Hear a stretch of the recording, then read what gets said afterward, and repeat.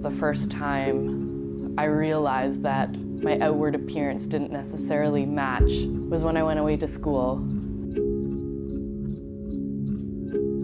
I would hear these sometimes very racist things about Indigenous peoples, and they would feel safe to say that in front of me because I didn't look Indigenous.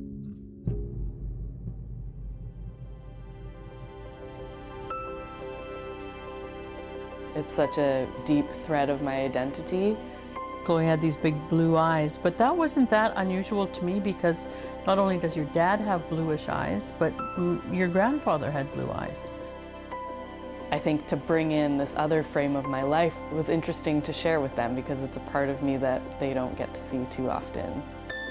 My new friends would laugh affectionately when I would explain my race as non-Caucasian. It wasn't funny to me.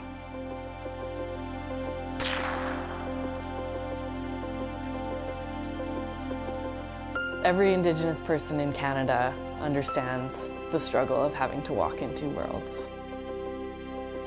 Trying to balance traditional values and way of life within a modern world. To walk in two worlds.